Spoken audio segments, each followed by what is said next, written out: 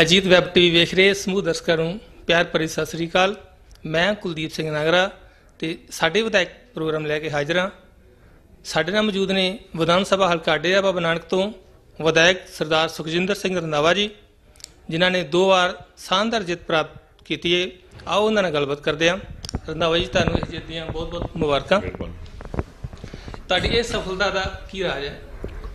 ਕਿਉਂਕਿ ਪਹਿਲੀ ਗੱਲ ਤੇ ਇਹ ਹੈ ਕਿ ਪਿਛਲੇ ਸਾਲ ਜਿਹੜੇ ਅਸੀਂ ਕੰਮ ਕੀਤੇ ਲੋਕਾਂ ਦੇ ਆਪੋਜੀਸ਼ਨ ਦੇ ਵਿੱਚ ਰਹਿਣ ਦੇ ਬਾਵਜੂਦ ਇਲਾਕੇ ਦੇ ਨਾਲ ਜੁੜੇ ਰਹਿਣਾ, ਇਲਾਕੇ ਦੇ ਲੋਕਾਂ ਦੇ ਨਾਲ ਦੁੱਖ ਸੁੱਖ 'ਚ ਭਾਈਵਾਲ ਰਹਿਣਾ ਔਰ ਉਹਨਾਂ ਨੂੰ ਜਿੱਥੇ ਕਿਤੇ ਵੀ ਕੋਈ ਮੁਸ਼ਕਲ ਪੇਸ਼ ਆਈ ਹੈ ਉਹਨਾਂ ਦੇ ਨਾਲ ਮੋਢੇ ਨਾਲ ਮੋਢਾ ਜੋੜ ਕੇ ਖੜੇ ਹਾਂ ਜਿਸ ਵੇਲੇ ਇਹਨਾਂ ਨੇ ਕਿਹਾ ਕਿ ਪਿੰਡ ਖਾਲੀ ਕਰਕੇ ਚਲੇ ਜਾਓ ਬਾਰਡਰ ਤੇ, ਮੈਂ ਤੇ ਉਸ ਵੇਲੇ ਵੀ ਸਾਰੀ ਰਾਤ ਇਲਾਕੇ 'ਚ ਫਿਰਦਾ ਰਿਹਾ, ਤਿੰਨ ਚਾਰ ਦਿਨ ਫਿਰਦਾ ਰਿਹਾ ਕਿ ਬਿਲਕੁਲ ਕਿਸੇ ਨੇ ਪਿੰਡ ਖਾਲੀ ਨਹੀਂ ਕਰਨਾ।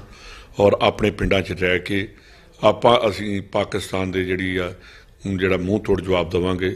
ਔਰ ਇਸ ਕਰਕੇ ਉਸ ਵੇਲੇ ਵੀ ਲੋਕਾਂ ਨੇ ਉਹ ਚੀਜ਼ ਨੂੰ ਬੜਾ ਐਪਰੀਸ਼ੀਏਟ ਕੀਤਾ ਕਿ ਚਲੋ ਗਵਰਨਮੈਂਟ ਕਹਿ ਰਹੀ ਹੈ ਕਿ ਤੁਸੀਂ ਪਿੰਡ ਖਾਲੀ ਕਰਕੇ ਚਲੇ ਜਾਓ। ਸਾਡਾ ਵਿਧਾਇਕ ਕਹਿ ਰਿਹਾ ਕਿ ਤੁਸੀਂ ਪਿੰਡ ਖਾਲੀ ਕਰਕੇ ਨਹੀਂ ਜਾਣੇ, ਇੱਥੇ ਅਸੀਂ ਤਗੜੇ ਤਰੀਕੇ ਨਾਲ ਲੜਾਈ ਕਰਾਂਗੇ। ਦੂਸਰੀ ਚੀਜ਼ ਜਿਹੜੀ ਇਹ ਹੈ ਜੀ ਕਿ ਲੋਕਾਂ ਦੇ ਨਾਲ ਜੁੜੇ ਰਹਿਣਾ ਸਚਾਈ ਇਮਾਨਦਾਰੀ ਉਹਨਾਂ ਦੇ ਹੱਕਾਂ ਲਈ ਲੜਾਈ ਕਰਨਾ ਇਹ ਵੀ ਲੋਕ ਉਹਨਾਂ ਚੀਜ਼ਾਂ ਨੂੰ ਯਾਦ ਰੱਖਦੇ ਜਿਹੜੀ ਵਾਹਿਗੁਰੂ ਨੇ ਬਖਸ਼ਿਸ਼ ਕੀਤੀ ਤੇ 5 ਸਾਲ ਇਹਨਾਂ ਦੇ ਨਾਲ ਲੋਕਾਂ ਨਾਲ ਮੋਢਾ ਨਾਲ ਮੋਢਾ ਜੋੜ ਕੇ ਰਹੇ ਔਰ ਜਿੱਥੇ ਵੀ ਕਿਤੇ ਇਹਨਾਂ ਨੂੰ ਪੀੜ ਪਈ ਥਾਣੇ ਦਾ ਕਰਾਓ ਕਿਸੇ ਡੀਸੀ ਦਾ ਜਾਂ ਹੋਰ ਕੋਈ ਉਹ ਬੜੇ ਜ਼ਬਰਦਸਤ ਤਰੀਕੇ ਨਾਲ ਅਸੀਂ ਕਰਦੇ ਰਹੇ ਹਾਂ। ਇੱਕ ਵਿਧਾਇਕ ਵਜੋਂ ਵਿਧਾਨ ਸਭਾ 'ਚ ਤੁਹਾਡਾ ਕੀ ਰੋਲ ਹੋਵੇਗਾ? ਮੇਰਾ ਤੇ ਪਹਿਲਾਂ ਵੀ ਰੋਲ ਸੀਗਾ ਪਿਛਲੀ ਵਾਰੀ ਮੈਂ ਵਿਧਾਇਕ ਸੀਗਾ।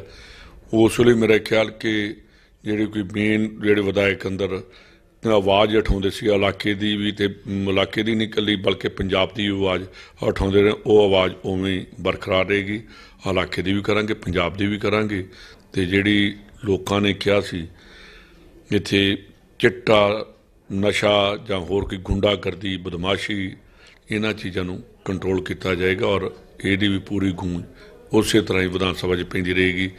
ਜੇ ਨਾ ਰੁਕੀ ਤੇ ਅਸੀਂ ਜਿਵੇਂ ਅਕਾਲੀ ਦਲ ਦਾ ਕਰਦੇ ਰਹੇ ਹਾਂ ਇਹਦੇ 'ਚ ਆਵਾਜ਼ 'ਚ ਲੋਕਾਂ ਦੀ ਆਵਾਜ਼ ਜਿਹੜੀ ਆ ਉਹ ਕਦੀ ਬੰਦ ਨਹੀਂ ਹੋਏਗੀ। ਨਵੀਂ ਬਣੀ ਪੰਜਾਬ ਸਰਕਾਰ ਦੀਆਂ ਪੰਜ ਤਰਜੀਹਾਂ ਕੀ ਹੋਣੀਆਂ ਚਾਹੀਦੀਆਂ?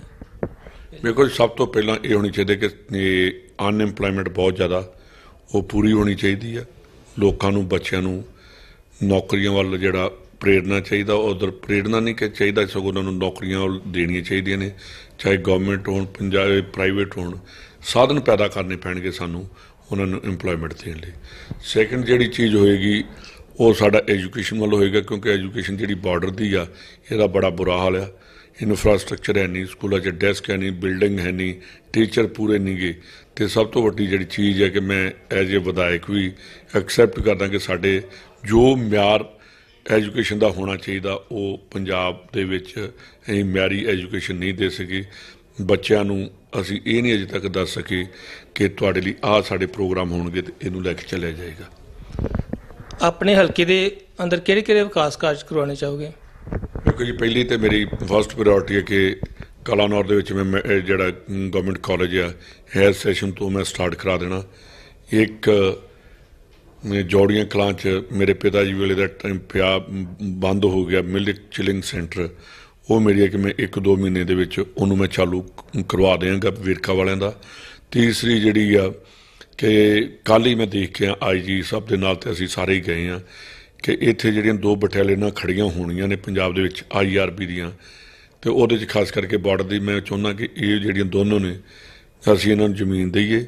ਔਰ ਉੱਥੇ ਬਟਾਲੀਅਨਾਂ ਖੜੀਆਂ ਕਰਕੇ ਜਿਵੇਂ ਬੀਐਸਐਫ ਦੀ ਬਣੀ ਆ ਉਸੇ ਤਰ੍ਹਾਂ ਉਹਨਾਂ ਨੂੰ ਕਰਕੇ ਪੰਜਾਬ 'ਚੋਂ, ਖਾਸ ਕਰਕੇ ਇਸ ਇਲਾਕੇ 'ਚੋਂ ਨਸ਼ਾ, ਬਦਮਾਸ਼ੀ, ਗੁੰਡਾਗਰਦੀ ਔਰ ਜਿਹੜੇ ਕੋਈ ਗਲਤ ਅੰਸਰ ਤੁਰਿਆ ਫਿਰਦਾ ਬਾਰਡਰਾਂ ਦੇ ਉੱਪਰ, ਉਹਨਾਂ ਦੀ ਰਾਖੀ ਕੀਤੀ ਜਾਏ, ਕਿਉਂਕਿ ਜੇ ਲਾਅ ਐਂਡ ਆਰਡਰ ਤੇ ਗੁੰਡਾਗਰਦੀ ਬੰਦ ਕਰਾਂਗੇ, ਤਾਂ ਹੀ ਸਾਡਾ ਜਿਹੜਾ ਦੇਸ਼ ਨੂੰ ਉਹਦਾ ਵਿਕਾਸ ਹੋਏਗਾ।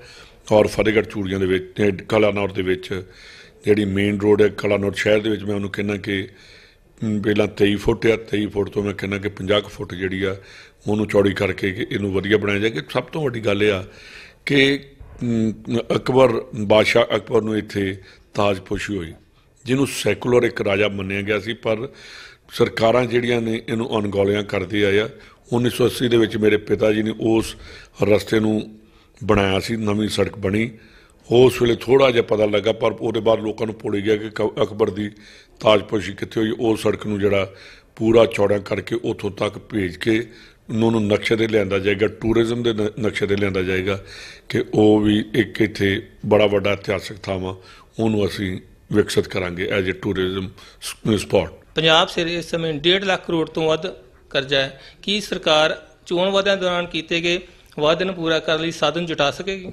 ਬਿਲਕੁਲ ਜਟਾਏਗੀ ਜੀ। ਤੁਹਾਡਾ ਮਨ ਹੋਣਾ ਚਾਹੀਦਾ, ਵਿਸ਼ਵਾਸ ਹੋਣਾ ਚਾਹੀਦਾ ਔਰ ਵਿਲ ਪਾਵਰ ਹੋਣੀ ਚਾਹੀਦੀ ਹੈ ਕਿ ਮੈਂ ਪੰਜਾਬ ਨੂੰ ਤਰੱਕੀ ਦੀ ਰਾਹ ਤੇ ਲੈ ਕੇ ਜਾਣਾ। 1.5 ਲੱਖ ਕੀ ਜੇ ਬਾਦਲ ਹੋਰ ਵੀ ਕਰ ਜਾਂਦੇ, ਪੰਜਾਬ ਦੇ ਲੋਕ ਏਡੇ ਮਜ਼ਬੂਤ, ਏਡੇ ਤਗੜੇ ਇਰਾਦੇ ਵਾਲੇ ਨੇ, ਇਹ ਕਰਜ਼ੇ ਤੇ ਅਸੀਂ ਜਿਹੜੇ ਜਲਦੀ ਇਹਨਾਂ ਨੂੰ ਖਤਮ ਕਰਕੇ ਤੇ ਪੰਜਾਬ ਨੂੰ ਤਰੱਕੀ ਦੀ ਉਡੀਆ ਤੇ ਲੈ ਕੇ ਜਾਵਾਂਗੇ। ਕੈਪਟਨ ਸਾਹਿਬ ਨੇ ਵਾਅਦਾ ਕੀਤਾ ਕਿ ਮੈਂ ਜਿਹੜੇ ਕਿਸਾਨਾਂ ਦੇ ਕਰਜ਼ੇ ਮਾਫ ਕਰਨੇ ਉਹ ਵੀ ਅਸੀਂ ਕਰਾਂਗੇ।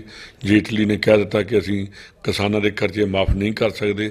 ਇਹ ਚੀਜ਼ ਭਾਵੇਂ ਪੰਜਾਬ ਸਰਕਾਰ ਨੂੰ ਕਰਨੀ ਪਈ ਜਿਹੜੀ ਲੋਕਾਂ ਨਾਲ ਵਾਅਦਾ ਕੀਤਾ ਉਹਨੂੰ ਪੂਰਾ ਕੀਤਾ ਜਾਊ ਕੀ ਚੋਣ ਵਾਅਦਿਆਂ ਸੰਬੰਧੀ ਸਿਆਸੀ ਪਾਰਟੀਆਂ ਨੂੰ ਜਵਾਬਦੇ ਬਣਾਇਆ ਜਾਣਾ ਚਾਹੀਦਾ ਜੀ? ਬਿਲਕੁਲ ਬਣਾਉਣਾ ਬਣਾਇਆ ਜਾਣਾ ਚਾਹੀਦਾ ਕਿ ਜਿਹੜੇ ਤੁਸੀਂ ਚੋਣ ਵਾਅਦੇ ਕਰਦੇ ਹੋ ਲੋਕਾਂ ਦੇ ਨਾਲ ਉਹਨਾਂ ਨੂੰ ਪੂਰਾ ਕਰਨਾ ਚਾਹੀਦਾ ਔਰ ਲੋਕਾਂ ਨਾਲ ਝੂਠ, ਫਰੇਬ ਇਹ ਨਹੀਂ ਕਰਨਾ ਚਾਹੀਦਾ ਕਿ ਜਿਹੜੀ ਚੀਜ਼ ਕਹੀ ਆ, ਉਹਦੇ ਤੋਂ ਉਤਰਨਾ, ਉਹਦੇ ਤੇ ਪੂਰਾ ਸਾਨੂੰ ਖਰਾ ਉਤਰਨਾ ਪਏਗਾ ਔਰ ਜੇ ਵਾਅਦੇ ਨਹੀਂ ਪੂਰੇ ਕੀਤੇ, ਉਹਦਾ ਜਿਹੜਾ ਲੋਕਾਂ ਨੂੰ ਉਹਨਾਂ ਦੀ ਕਚਹਿਰੀ 'ਚ ਦੁਬਾਰਾ ਫੇਰ ਖੜਾ ਹੋਣਾ ਪਏਗਾ, ਇਸ ਕਰਕੇ ਇਹ ਵਾਅਦੇ ਪੂਰੇ ਕਰਨੇ ਚਾਹੀਦੇ ਤਾਂ ਕਿ ਜਦੋਂ ਪੰਜਾਂ ਸਾਲਾਂ ਨੂੰ ਇਲੈਕਸ਼ਨ ਆਵੇ ਕਿ ਅਸੀਂ ਉਹਨਾਂ ਦੇ ਵਿੱਚ ਜਾ ਕੇ ਝੂਠੇ ਸਾਬਤ ਨਾ ਹੋ ਸਕੀਏ ਕਿ ਅਸੀਂ ਤੁਹਾਡੇ ਕੰਮ ਨਹੀਂ ਕਰ ਸਕੇ। ਕੀ ਸੰਦੇਸ਼ ਦੇਣਾ ਚਾਹੁੰਦੇ ਹੋ?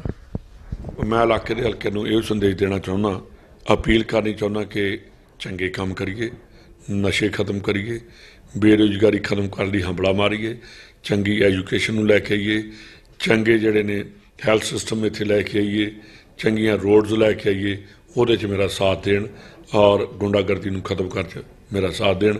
ਇੱਕ ਮੈਂ ਉਹਨਾਂ ਨੂੰ ਖਾਸ ਕਰਕੇ ਅਪੀਲ ਕਰੂੰਗਾ ਕਿ ਜਿਹੜੀ ਮੈਂ ਇਹ ਨਹੀਂ ਕਹਿੰਦਾ ਕਿ ਇਕੱਲੇ ਆਫੀਸਰ ਹੀ ਕਰਪਟ ਨੇ ਸਾਡਾ ਜਿਹੜਾ ਸਿਸਟਮ ਹੈ ਕਿ ਅਸੀਂ ਪੈਸੇ ਦੇਣ ਦੇ ਆਦੀ ਬਣ ਗਿਆ, ਉਹ ਚੀਜ਼ ਨੂੰ ਖਤਮ ਕਰਕੇ ਆਫੀਸਰਾਂ ਨੂੰ ਵੀ ਇਮਾਨਦਾਰੀ ਸਿਖਾਈਏ ਤੇ ਆਪ ਵੀ ਇਮਾਨਦਾਰ ਬਣਨ ਦੀ ਕੋਸ਼ਿਸ਼ ਕਰੀਏ ਕਿ ਅਸੀਂ ਬਿਨਾਂ ਪੈਸੇ ਤੋਂ, ਬਿਨਾਂ ਰਿਸ਼ਵਤ ਤੋਂ ਕੰਮ ਕਰਨ ਦੀ ਤੇ ਕਰਾਉਣ ਦੀ ਆਦਤ ਪਾਈਏ। ਥੈਂਕ ਯੂ ਜੀ। ਇਹ ਸਨ ਸਰਦਾਰ ਸੁਖਜਿੰਦਰ ਸਿੰਘ ਰੰਧਾਵਾ। ਵਿਧਾਨ ਸਭਾ ਹਲਕਾ ਡੇਰਾ ਬਾਬਾ ਤੋਂ ਕੁਲਦੀਪ ਸਿੰਘ ਨਾਗਰਾ।